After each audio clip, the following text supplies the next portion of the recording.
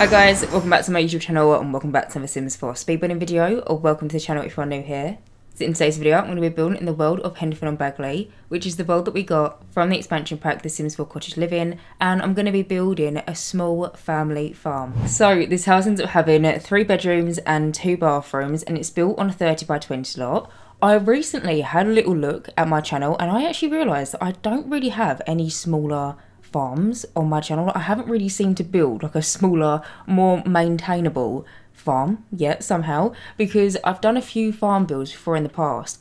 But something that I've noticed is all the farms that I seem to build they're quite big. So I've, I've, built previously on like 50 by 40 lots or like massive, just massive family farms like multiple cow sheds and loads of different land for your Sims to do some gardening. And I realised it might be a good idea to build something on the smaller side, a little bit more maintainable. And so yeah, that is pretty much what I did. So I hope you guys like it. Even though this farm is quite small, I still wanted it to be filled with loads of stuff for your Sims to do. So I still wanted there to be, you know, like the beekeeping hut. I still wanted there to be a chicken coop. I still wanted there to be like laundry. So there is a washing machine and tumble dryer on the inside of this build. But then there's like a little hanging line outside. I placed down, I think it's five planters, you know them garden plots that we got from the Cottage Living expansion pack? I placed down a five outside, so if your Sims wanted to, they could grow one of every single type of oversized crop. I just wanted it to be small, but still practical and just a little bit more maintainable because, yeah, like I said previously, I've built so many different farms and I've built a good handful amount of them, but they all just seem to be in different styles and not so much different sizes. So like previously I've built like Japanese farms, I've built modern farms, I've just built, you know, a classic English farm, but they're all just really big. And so yeah, I'm really happy with this small little farm. I think it's so cute. And I feel like for like gameplay wise, it's probably a little bit more easier to manage because everything's just kind of like at your fingertips. Also, where I am building on a 30 by 20 lot, I was really restricted in the amount of space that I had because the actual house itself, I mean, you can see that I pretty much built the structure already and I just kind of like moved it over to the left hand side because I wanted there to be more so like a side farm rather than like a back farm just because it's easier for gameplay. But where I was building on a 30 by 20 lot, I was really restricted by space. So there does only end up being one animal shed. I think if you were to download this build of the gallery, there will be a cow in there because when I came in and I was playtesting this build, I just I placed down a cow because I personally prefer playing with cows in my gameplay rather than llamas. I don't know if anyone else has that same preference, but I just prefer cows. They're a little bit more farm like to me and so there will be a cow if you download this build of the gallery but feel free to delete the cow and the chickens. They just kind of they come with the house but you can definitely just delete them and replace it with a llama if you fancy or if you wanted to you can just completely get rid of the chicken coop. And then you could probably try and squeeze in some more animal sheds. If you really just have a bit of a play about maybe wanting to like size down some animal sheds and make them really small and you could probably play about with it but for for what I wanted to build I just thought one animal shed one chicken coop and then just five planters and just some like bits and bobs should do the job and yeah like I said I'm really happy with this build. Also ends up having a water mill is that what it's called? A the wheel thing that I've just placed down. I really wanted to include it in this build because I wanted to basically build you know, if you've seen my huge family farm, I built it like two years ago when the Cottage Living expansion pack came out. In that video, I said that I wanted to basically build like the ultimate farm. I basically wanted this to be the exact same thing, but just on a smaller scale. So it's still got all of like the classic farming kind of items. There also ends up being a little fishing post, so your Sims can come fishing here. There also ends up being the little bunny rabbit hole so there is wild rabbits on this lot. There is also the little bird tree so your sims can speak to the birds. It's just really cute and wholesome and yeah, anyway, moving on from that and actually getting on and actually talking about what I'm doing right now. So as you can see, and kind of like I've already mentioned, I have already built the main structure of the build. I'm currently just going around and just doing some landscaping. Now, probably one of my favourite things about building in the world of on Bagley is probably just making as much use as I can possible of all the different live edit and debug plants. So with the Cottage Living expansion pack, in the actual build and buy menu, we didn't get, I don't think anyway, we didn't really get any flowers or any shrubs. I know we got a few different trees that your Sims can buy, but for some reason, all of the really pretty flowers are locked behind the live edit menu, which I, makes absolutely no sense to me whatsoever. But the world of Henford Bagley has some really beautiful flowers and shrubs and plants and trees. And to be honest,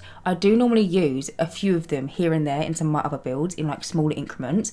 But where I'm building in the world that these plants and bushes came from, I just basically go to town. So you might see in the landscaping, it's a little bit overgrown. It looks a little bit not not messy, not like just basically a little bit more unattended to. But I just love it. I just have so much fun just using all the different like rose bushes and sunflowers and all the different like overgrown kind of like bushy fluffy tree. They're just really pretty and i just love landscaping in this build. I also wanted this house to be filled with loads of different ivy pieces. So you can see that i've placed down some ivy kind of by the water mill there's some kind of like growing up the side of the house. And then on the left hand side i don't know if you're going to be able to see it because there's a few trees kind of blocking it but we've got some really pretty ivy kind of like flower things. They're from the uh, I was about to say get to no it is get together. I was about to say growing together but there is honestly then the expansion pack and the DLC names at this point is so confusing to remember but the uh, get together expansion pack you know the one that we got the world of Windenburg?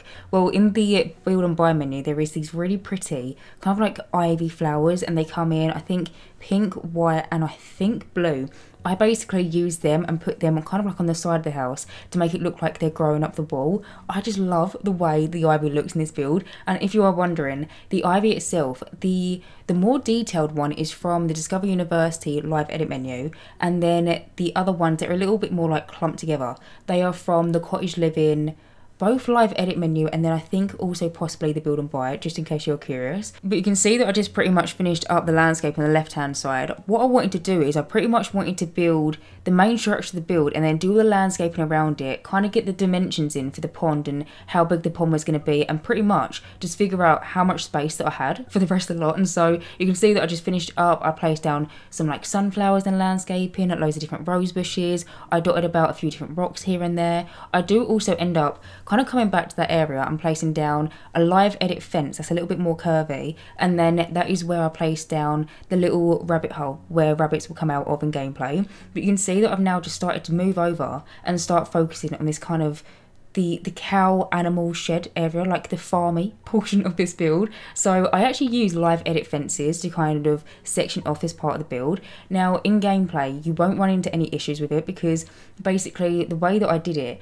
i tried to make it so the animal shed wouldn't interfere with the with the fences. Now originally the way that you see it right now on the screen there was a few issues when it came around to me playtesting, but like always, I came in, I playtested the build so I could see if there was any problems.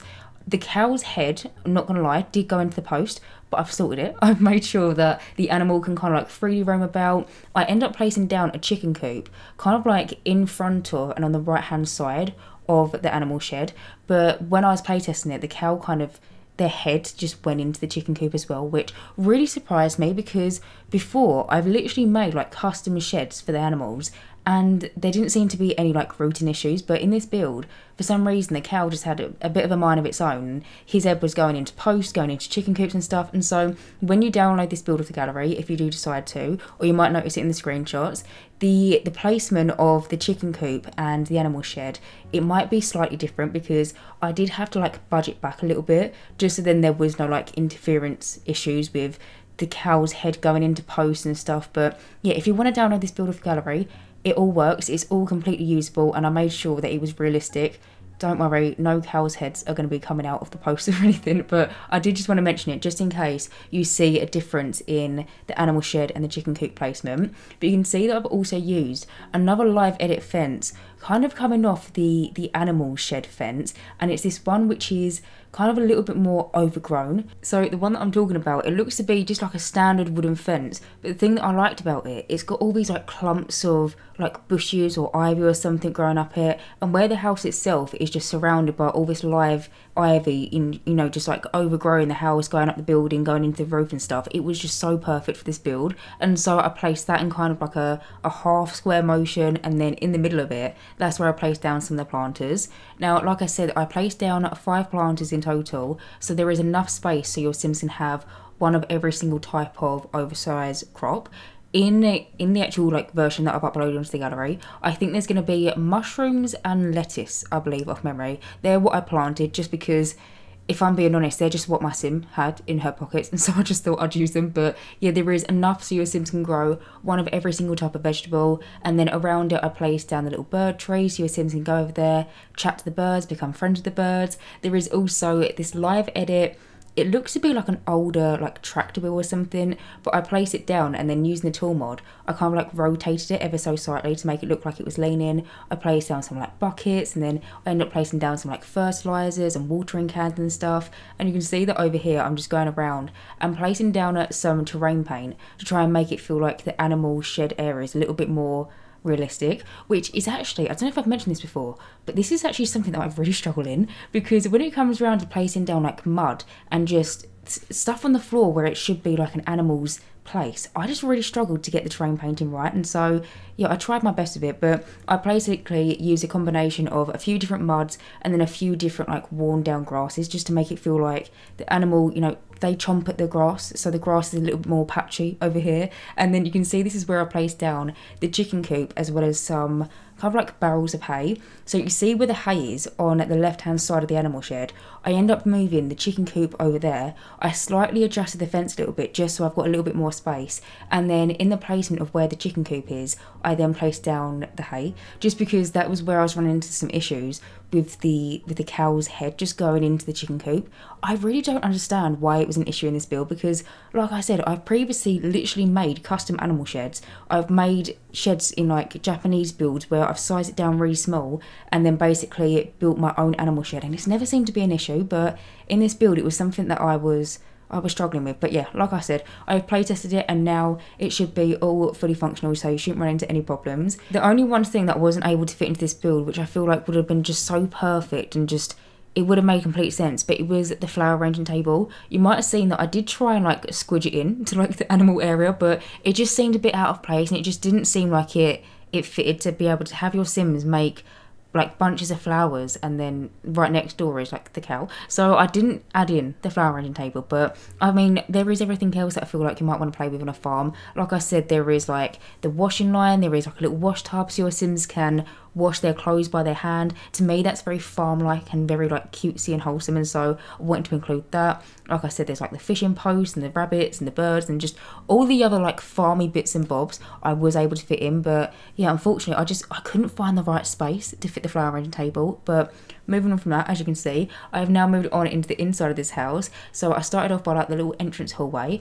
I've just realised I completely forgot to tell you how I decorated the bedrooms in this house. So if you are curious, I mean, we're going to very shortly move on and you'll see them. But I decorated the rooms to be one for, I was personally thinking a single parent, but a single parent or a set of parents. Then there is an infant's room as well as a kid's room. Now, when I was building this house, I was thinking about the idea of a single mum living here with her two daughters. And so I tried to make it very like light colours, quite floral. There's a lot of flowers and lots of just very cutesy things in this house. But yeah, I had the idea of a single mum that lives on this farm. She's got a cow, she's got a few chickens, she loves gardening, and she lives here with her infant and her her kid, who's a little girl. But you can see that in the actual entrance hallway, I placed down this like coat rack, which is from I think Seasons, or it might potentially be from the Cats and Dogs expansion pack. But you can see like the colour theme that I went for in like the entrance hallway. I tried to carry that on throughout the rest of the house. I use a lot of cats and dogs in this build, as well as a lot of cottage living, which I feel like cottage living is probably a bit of a given. But in terms of like the the building style, in terms of like the inside furnishings,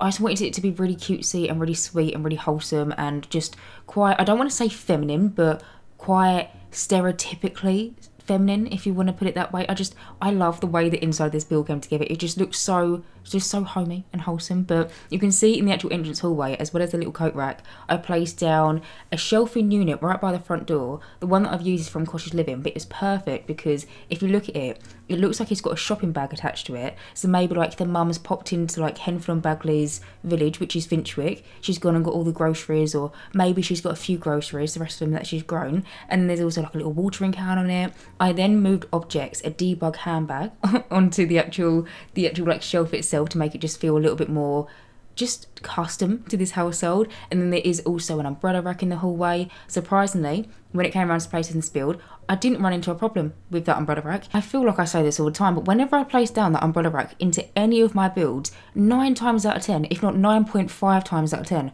I've run into a problem with it because it's so.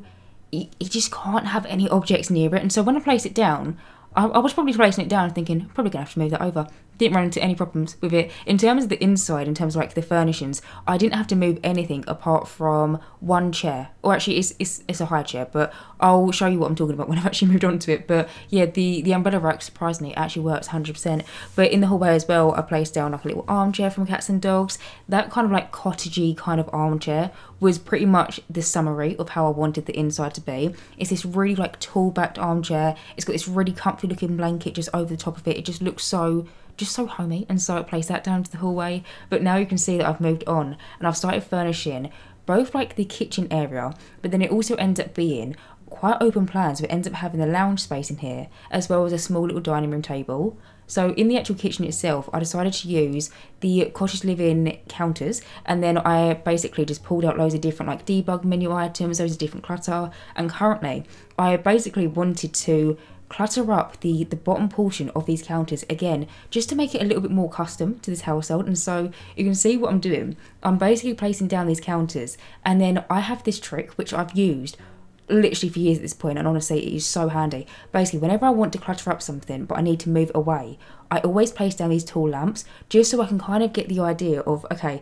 if i place a lamp here and i place a lamp here i'll normally place it down in like an area where I can't place anything. So you know, like on the side of a counter where it might, it might the counter might end or something. I'll basically place down these lamps on the side of it, and then I know the space that's in between the lamps is a space that I can clutter it up. It looks like an absolute mess on the screen. I feel like because I often get questions of people asking me what I'm doing with the lamps. Why do I place down loads of lamps and then delete them? I literally just place them down pretty much to get the dimensions of the space that I want to clutter up. And to be honest, when it came around to doing this house, there was just so many different clutter pieces that I really wanted to use in the kitchen. But the thing is, I didn't really have enough space, and so I thought, okay, well, I'm going to take advantage of the end pieces that we've got from the counters because they've kind of got some like built-in shelves. They're not shelves that stereotypically are normally that you can actually place things onto, but where I place the lamps, I basically place them at the end of the the counters themselves. So then the space in between it was kind of like dead empty space. I then got the same counter, popped it onto the wall. I then used the red shelf, which you can see that I'm using the red shelf over here. It's basically something that you can use to get objects to a certain height. But I put the counter on the other wall, got the red shelf, so the same counter, put it to the same height as what the shelf is that I wanted to clutter up. I then moved away the counters on the space that I wanted to clutter up, and then basically in the air, I placed down like these like dishes and like loads of extra like plates and bowls and stuff. And then I was able to move the counters back in and it looks like the the actual stuff that I placed down is part of the actual unit and it's not just something that's plonked into thin air. Using the red shelf is really handy but hopefully that was easy to understand as well. But yeah I often get questions about why I do that. It's honestly it's just because I love doing clutter and sometimes sometimes I want to go overboard and sometimes I never know how much space I've actually got to use. And so using tall lamps as kind of like a guideline for what space I actually have is super handy and honestly I recommend it. But yeah in the actual like clutter that I placed down I think I ended up placing down like a casserole dish which is from I think the country kitchen kit. I wanted to definitely use that somewhere in this build because it's just so perfect for a little like wholesome farm. So I placed that down into the unit. Also placed down some extra pots. The ones that I use are from Cottage Living. I use the same pot I just use it in different swatches and size one down to make it look like it was a little bit smaller. But I just merged them into the counter and if you're wondering wondering in gameplay, your Sims honestly they don't even realise it's there. Like it's just it's just for you, just so you can see that there is a little bit more clutter. And like I said, there was just more things in this kitchen, like more clutter pieces than space. And so I just I tried to make the use of the empty spaces underneath the clutter and it just it feels a little bit more custom to this household. But currently you can see that I've moved over and I've started doing like the the seating area of this room. Like I said it's like an open plan kitchen lounge space and then also like a really small little dining room. So in the actual like lounge portion I use the sofa that we got from the growing together expansion pack. It's currently in like this cream swatch with this blue blanket purely for the fact of I feel like every single time I've gone to use this new sofa, I always use it in the same swatch. I end up changing the swatch because the swatch that I normally end up going for actually just suited the house better. So you'll see when I move on, I start doing the bathroom. Kind of like at the end, I realised that I wanted to use a different swatch of it. So I do decide to switch that out. You would have also noticed that in the in the lounge room, I tried to do something with the rugs. I tried to basically make a custom rug because I wanted to use this really nice rug that we got from the Cats and Dogs expansion pack. It's kind of like a cream rug. But I was also debating using one of the rugs that we got from the Growing Together expansion pack and I realised the reason why I wanted to use the rug from the Growing Together EP is because it has little tassels on the end of it and it just looks really like dainty and cutesy. And so I realised I wanted to use the tassels and I didn't actually really so much care about the actual colour swatch of the rug. So what I tried to do is basically using this rug, which I think is from the Laundry Day stuff pack. It basically has these really nice tassels on like the ends of it. I basically put down loads of them. I think I put down like four in total. Spent absolutely forever trying to get them to be the correct placement, get it so the tassels like perfectly line up with one another, and then I plopped the rug from Cats and Dogs on top of it to then make it look like that rug then has tassels. I spent so long doing it. In the end, I didn't even like it, but I thought I'd keep it in just so you could see kind of like my thought process and kind of the idea that I had in that room. But yeah, that is like a nice little idea, by the way. If you ever want to create like a custom rug,